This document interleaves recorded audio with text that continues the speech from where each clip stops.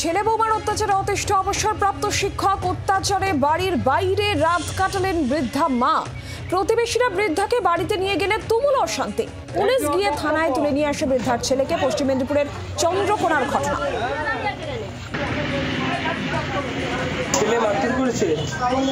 তাই করে। আমি সবই মেনে নিই কাউকে বলিনি। তবুও কাউকে বলিনি পাড়া ঘরে বেরায়নি বৌমা সাইড থেকে বলে সে মারতে পারেনি সাইড থেকে অনেক কিছুই বলে। তাদের কাছে এসে বোঝা হয়ে রয়েছি তো বা কেন? আপনার তো জমি জায়গা আপনার স্বামীর তো টাকা পয়সা আছে জমি জায়গা আছে। আর সেটি কি বলে? আর স্বামীর নাই সব রেজিস্ট্রি করে দিয়েছে স্বামী। একটি তো ছেলে জমি জায়গা রেজিস্ট্রি করে দিয়েছে।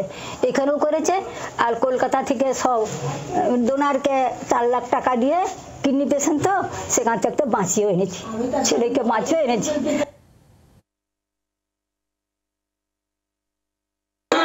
মিথ্যাটা প্রমাণ করার জন্যই বলছি আমার মিথ্যাটা প্রমাণ করার জন্য বলছি আমি তো বললে হবে না।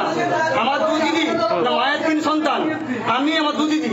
তাদের কথা মতন নেওয়া হোক আচ্ছা আমার দু মামলা কথা মতন নেওয়া মাকে বিভিন্ন জন বিভিন্ন হচ্ছে এবং মায়ের মাথায় একটু সমস্যা আছে। নাকের একটু সমস্যা আছে।